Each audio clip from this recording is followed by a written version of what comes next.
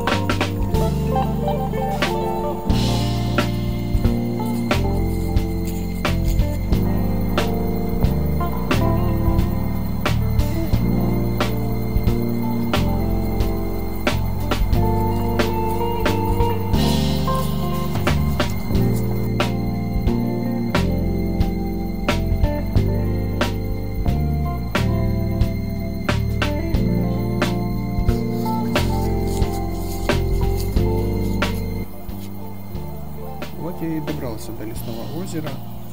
Ветер немного поутих, пора готовиться к рыбалке.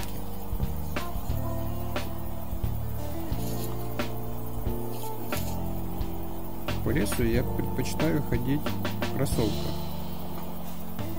Но для рыбалки лучше переобуться в сапоги.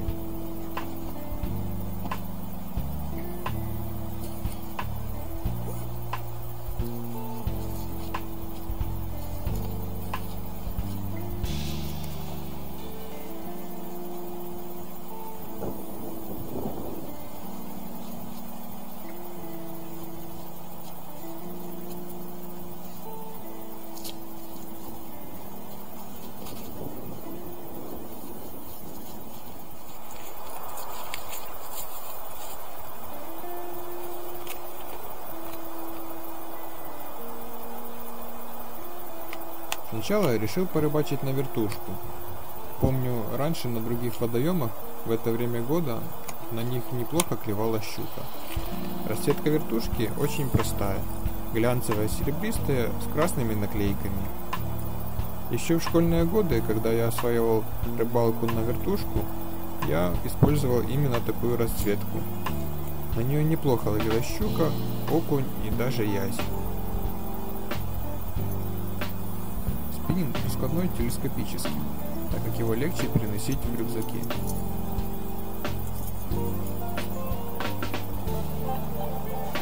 Катушку я использую безинерционную, так как это действительно самый универсальный вид катушек, ведь его можно использовать как для спиннинга, так и для фидерной рыбной ловли, а поплавочную удочку и в самых разных условиях.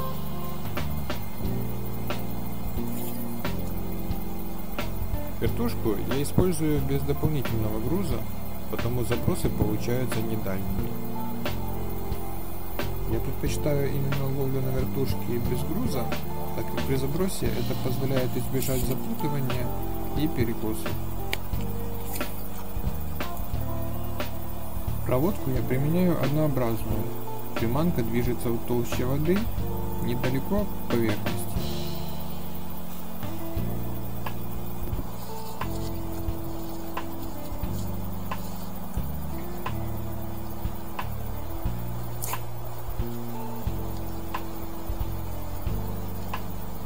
Скорость проводки я еще тестирую.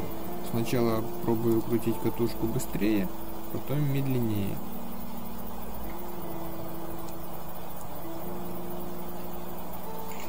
Это зависит от осеннего настроения щуки. Иногда она берет при очень медленной проводке, буквально на грани срыва вращения лепестка. Иногда предпочитает более высокую скорость, чем обычно. В любом случае скорость проводки и ее характер – это важная составляющая успеха, которым нужно экспериментировать, причем не бояться иногда их радикально менять.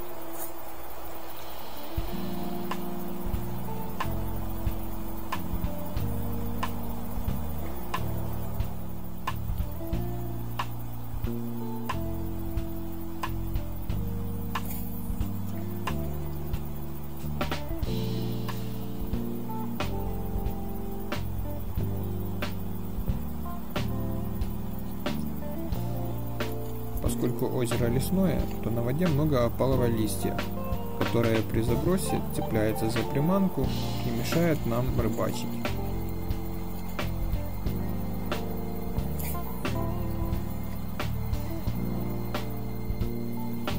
При ловле на вертушку все чаще и чаще попадалось листья, потому мне пришлось поменять насадку, подцепить силиконовую рыбку. Поскольку рыбка намного тяжелее, чем вертушка, дальность заброса увеличилась.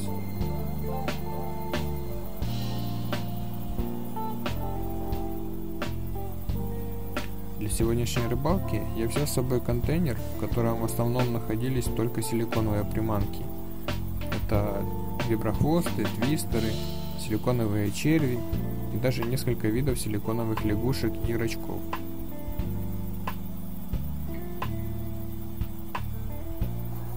Тема подбора цветов силиконовых приманок всегда спорная. Одни рыбаки считают, что цвет приманки не имеет никакого значения, другие же напротив считают, что ловистость приманок очень сильно зависит от ее раскраски. Но на самом деле цвет приманки играет роль. К примеру, цвета хорошо работающие по судаку могут плохо работать по щуке. Но в любом случае все цвета нужно пробовать самостоятельно. Чем ниже прозрачность воды и чем пасмурнее погода, тем хуже приманка видна в воде. И в таких случаях нужно применять силикон яркого цвета. Стоит пробовать желтые и оранжевые цвета силиконовых приманок. Естественно, цвета приманок нужно варьировать, и порой лучше ловит желто-салатовый цвет, однородный или со спинкой другого цвета. Также для щук стоит пробовать силикон белого цвета, но не стоит забывать и о форме приманки, которая играет далеко не последнюю роль. Даже самый опытный спиннингист проходит через путь поиска, ведь ассортимент представленных в рыболовных магазинах просто впечатляет.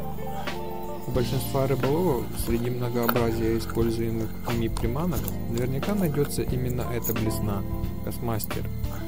Космастер пользуется заслуженной популярностью благодаря хорошей игре практически при любом темпе проводки и своей уловистостью. Эта приманка применяется преимущественно при ловле жереха на спиннинг, однако подойдет и для прочей хищной рыбы. Так в улове нередко могут быть окунь, щука и судак.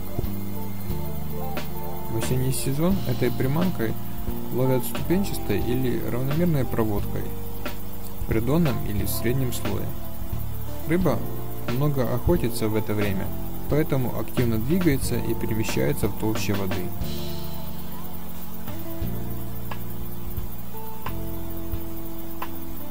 А, ну вот и все, закончилась сегодняшняя рыбалка. Улова сегодня никакого нет, э, не знаю какая причина. Возможно, погода была не та, возможно, приманки подбирались не те. Но встречал сегодня много рыбаков, у них э, тоже никакого улова. Э, несмотря на это, мне понравилось э, время, проведенное здесь. Напоминаю, мы были сегодня в районе городка Пуща Водица. Очень рад, что мне удалось э, выбраться сегодня. Погода сегодня радовала, дождя никакого не было. Иногда проглядывало солнце, вот как сейчас, а так большую часть дня была пасмурная погода. Наснимал много красивых кадров, сейчас поеду монтировать протестировал э, свою походную печку. Э, видео про нее тоже вскоре появится на, на, на канале. Э, так, у меня все. Кому понравилось видео, подписывайтесь на канал, ставьте лайк, пишите комментарии. Буду рад э, ответить. Всем пока!